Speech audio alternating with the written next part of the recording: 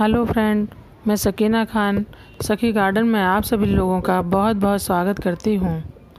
तो फ्रेंड, आज फिर मैं एक नई वीडियो के साथ आपके पास आई हूँ।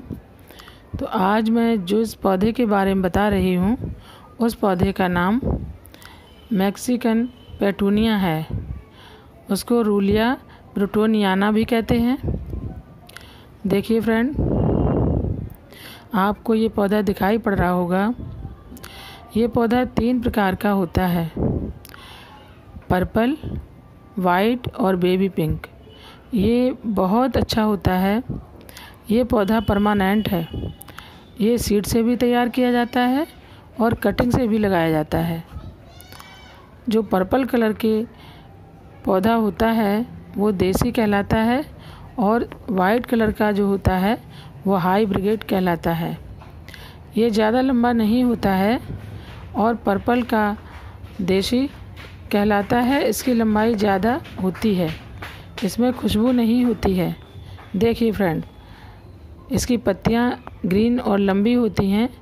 कितनी खूबसूरत हैं। देखिए फ्रेंड इसका फूल भी बहुत प्यारा है।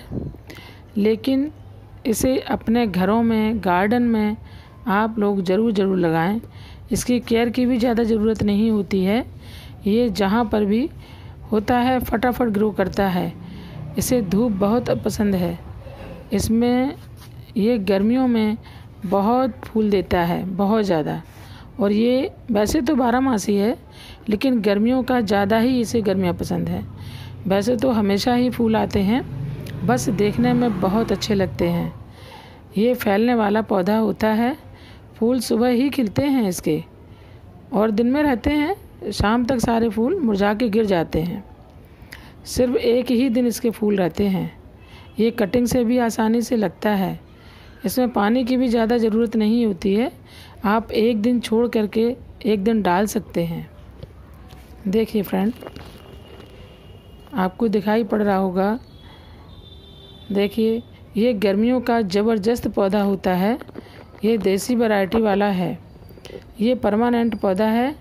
ये जितना कटिंग से, जितना कटिंग इसकी करेंगे, ये उतना ही बढ़ेगा। इसमें ज़्यादा मेहनत की ज़रूरत नहीं होती है। ये तीन कलर के होते हैं। पर्पल कलर का होता है वाइट कलर का होता है और बेबी पिंक कलर का होता है। इसके फूल बहुत प्यारे लगते हैं, बहुत बहुत बहुत। तो आप सभी लोग अपने गार्डन में, अपने घरों में, पार्कों में, गमलों में ज़रूर ज़रूर लगाएँ। तो ठीक है दोस्त अब मैं चलती हूँ। अभी तक अगर आपने हमारा चैनल सब्सक्राइब नहीं किया है तो आप कर लें, आप शेयर कर लें, बेल आइकन को दबाना ना भूलें, जिससे कि आगे जितनी भी नोटिफिकेशन हैं, सब आप तक पहुँचती रहें। तो ठीक है दोस्त